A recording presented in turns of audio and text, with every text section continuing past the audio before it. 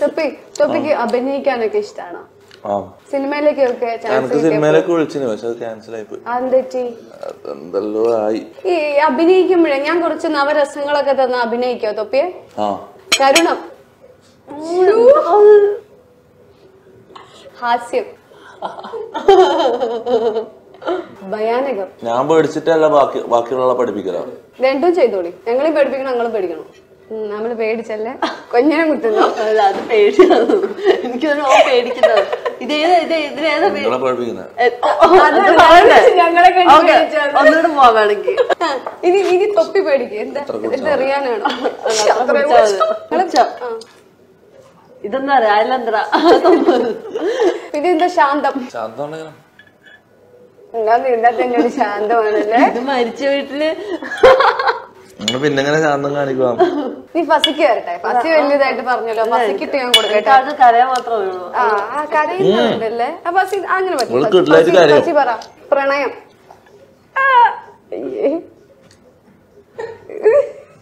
എന്താണ് നീ ഇത് തൊപ്പിന്റെ പ്രണയം എങ്ങനെയാ? ഓ എന്നോട് കാണിക്കാൻ പറഞ്ഞതാ. ആ.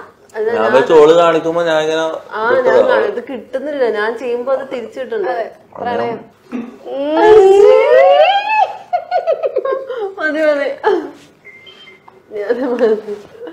നല്ല പ്രണയം തോന്നുന്നു. ഉം.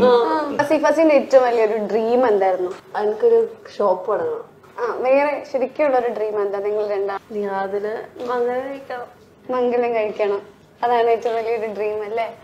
ഇപ്പൊ വീട്ടുകാരൊന്നും സമ്മതിക്കൂല എന്ന് പറഞ്ഞിരുന്നല്ലോ? ആ. അപ്പൊ വീട്ടുകാരൊന്നും സമ്മതിച്ചില്ലെങ്കിൽ നിങ്ങൾ എങ്ങനെ കല്യാണം കഴിക്കും? വീട്ടുകാർ സമ്മതിപ്പിക്കും നമ്മൾ. ആ ടീം നോക്കും. അതിനണക്കായിട്ട് എന്തെങ്കിലും ചെയ്യും. എന്തെങ്കിലും വഴി ഉണ്ടാവും. എന്തെങ്കിലും വഴി ഉണ്ടാവും. എല്ലാത്തിനും ഒരു വഴി തെളിയും. നമ്മളെ നമ്മൾ പരിചയപ്പെട്ട തന്നെ ഒരു ഭയങ്കര നിമിത്താണ് മനസ്സിലായ? ബാക്കിയെല്ലാം ഇതിനണക്കായിട്ടുള്ള രീതിയിൽ നടക്കും. എല്ലാം അങ്ങനെ നടക്കുന്നുണ്ട്. അതുകൊണ്ട് ഇതിനെക്കുറിച്ച് ചിന്തിക്കലില്ല. എല്ലാം ആ ടൈം ആകുമ്പോൾ നമുക്കൊരു വഴി തെളിയലുണ്ട്. അതെ അതെ. എല്ലാ കാര്യത്തിലും. നിങ്ങൾ രണ്ട് വീട്ടുകാരെയും സപ്പോർട്ടോടുകൂടി മാത്രമേ കല്യാണം കഴിക്കുള്ളൂ എന്ന് തീരുമാനിച്ചവരാണോ? അങ്ങനെയല്ല അത് അങ്ങനെ ആവണമെന്നാണ് ആഗ്രഹം.